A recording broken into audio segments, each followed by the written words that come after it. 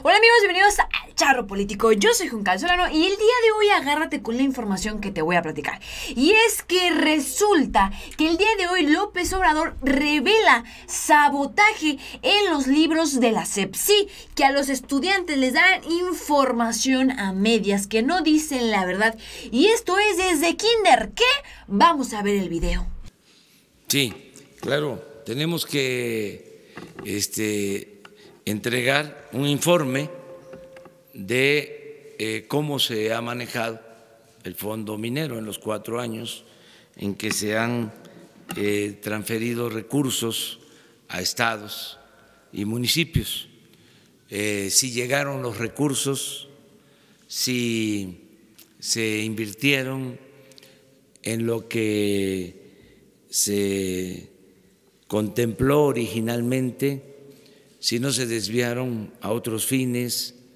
Se tiene que hacer esa investigación. Yo ya le pedí a la secretaria de Economía, Graciela Márquez, que haga este diagnóstico, porque es también la respuesta al por qué estamos nosotros queriendo entregar los eh, fondos, el dinero, de manera directa a los beneficiarios. lo he dicho en otras ocasiones, lo repito ahora, estamos procurando que no haya intermediarios eh, porque no llega el apoyo a la gente. Eso me lo recomiendan los mismos ciudadanos, la misma gente ya lo dije una vez y lo repito ahora, me dicen, no nos mande el apoyo a través del gobierno o de las organizaciones sociales supuestamente independientes, que nos llegue el apoyo de manera directa. Y eso es lo que estamos haciendo. Por eso hay alguna inconformidad, porque se entregaban apoyos hasta eh, políticos recibían apoyo para fundaciones, se recibían apoyos para fundaciones en ayuda a migrantes, cientos, miles de millones de pesos, y no llegaba el apoyo a los migrantes. Entonces, por eso es el cambio de política. El gobierno no debe de incumplir con su responsabilidad social. ¿Por qué entregar el dinero a eh, organizaciones de la llamada sociedad civil o a organizaciones independientes del campo, del movimiento urbano o del movimiento eh, laboral. ¿Por qué no el gobierno, si esa es su función, eh, entrega de manera directa a los beneficiarios? Hay cosas que no se pueden hacer así, este, porque son complejas pero nosotros estamos entregando los recursos a los eh, municipios de usos y costumbres de Oaxaca, a las autoridades de Oaxaca, de manera directa, porque se decía que no tenían capacidad técnica los herederos de quienes construyeron Monte Albán que son de los mejores trabajadores de la construcción del mundo, supuestamente no tenían capacidad técnica para hacer un camino. Y el presupuesto se enviaba al gobierno, a un organismo, y nunca se hacía el camino, se robaban el dinero. Ahora se está entregando el dinero para la construcción de los caminos a los gobiernos municipales de usos y costumbres de Oaxaca. entregamos para construir 50 caminos,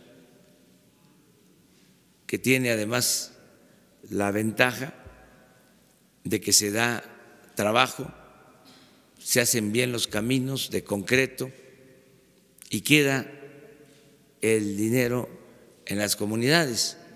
No se entrega a contratistas vinculados con políticos que se roban el presupuesto. Entonces, es lo mismo para el caso de la minería. ¿Qué estamos proponiendo? Que se entregue a los que viven en las zonas mineras de manera directa lo que les corresponde vía un crédito sin intereses, lo que llamamos tandas para el bienestar, para que la gente pueda eh, utilizar ese apoyo, eh, comprar mercancías si son comerciantes, si son artesanos, comprar equipos, herramientas, pero entregarlo de manera directa y que se haga un fondo revolvente.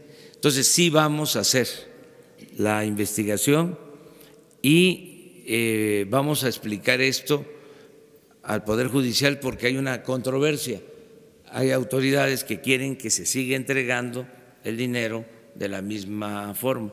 Entonces vamos a demostrar de que hubo opacidad, que es lo menos que se puede decir, y en algunos casos corrupción, y que ya no queremos que eso siga sucediendo. Pues bien amigos, estas fueron las palabras del presidente Andrés Manuel López Obrador dentro de la primera parte de la conferencia mañanera del día de hoy. Y me parece increíble y aplaudo esta acción. El hecho de poner atención y enfocar en qué es lo que se está ofertando en los libros de la SEP, independientemente que la SEP eh, sea esta secretaría que tiene como objetivo el fomento a la educación y principalmente regula las instituciones públicas, públicas y privadas, pero es la encargada de generar los libros libros que van a llevar las personas que acuden a instituciones públicas. ¿Cómo es posible que se esté ocultando información? ¿Cómo es posible que no se esté dando información de primera? ¿Cómo es posible que exista la desinformación? Que no tengamos libros de texto de calidad, tengamos libros erróneos, si es con lo que nos estamos informando. Y no solamente estoy hablando a nivel primaria, secundaria o bachillerato, estamos hablando que desde kinder, y vean nada más, no me sorprende, y estoy segura que esta ha sido una estructura que ha llevado, que ha sido implementada por sexenios anteriores con el objetivo de no brindar una educación de calidad, de brindar la educación a medias y esto no es posible. Es evidente, a les beneficia. Un pueblo desinformado es un pueblo más manipulable. Un pueblo informado es un pueblo que le va a costar trabajo al gobierno manipular y engañar porque tienen conocimiento, saben lo que está pasando. Y sabemos además que la educación es una herramienta fundamental, señores, para salir adelante para que nuestro país pueda crecer, para que la tecnología, la economía, y no lo digo yo, veamos los ejemplos a nivel mundial, cómo los países este, con mejores índices de educación son los que mejor economía o mejor posicionados están. Claro, hay sus excepciones, pero más o menos esa es la tendencia. Entonces, qué bueno que López Obrador se enfoque en el tema de la educación, que es principal, y que se empiece a corregir desde el kinder, porque así es como vamos a ir formando cada vez y cada vez mejores generaciones. Pues bien, amigos, yo soy Juan Carlos Solano para, el, para Patria 24-7. Déjame en los comentarios qué opinas al respecto, qué anomalías, qué hechos has observado en los libros de texto para denunciar. Hoy que López Obrador decide darle prioridad a este tema tan importante y fundamental que es la educación. Te invito a que me lo dejes en los comentarios. Yo soy Juncal Solano y también te invito a que descargues la aplicación Rappi si todavía no la tienes. Sí, porque Patria 24-7 y yo te queremos regalar el envío. Pídete lo que tú quieras. De desayunar, de comer, de cenar, la nieve, el pan, el postre, lo que tú quieras quieras, nosotros te invitamos el envío, es decir, te vamos a dar mil pesos en envío.